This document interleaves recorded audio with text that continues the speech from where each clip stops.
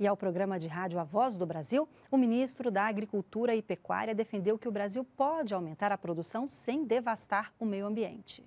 O Brasil tem hoje algo em torno de 150, 160 milhões de hectares de pastagem e 44 milhões de hectares em agricultura.